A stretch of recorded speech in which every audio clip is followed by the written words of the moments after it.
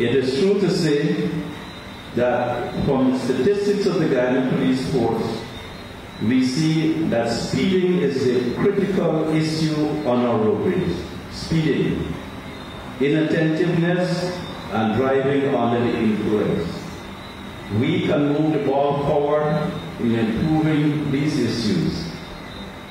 We have to ask our policemen, of course, or traffic police, to make an extra effort this season. We're going into the holiday season just now to bring about a significant change in these issues. We have to think of new measures.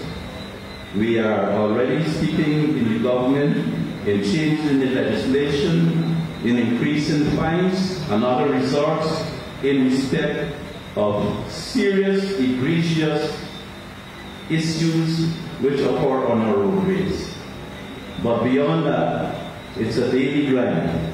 It's a daily grind. And our traffic police have to pay attention to give people tickets on the road and not tell people to go to the station where there's a lot of wastage of time in the police station, presumably harassment and other things which occur in some of the stations. So we have to uplift, uplift our rate of ticketing and we have to get people to slow down more.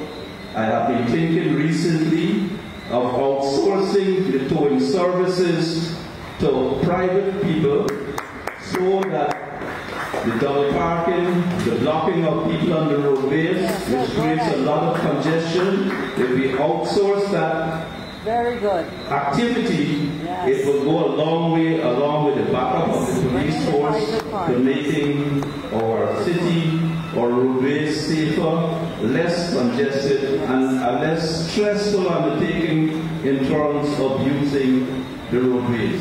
Very good. But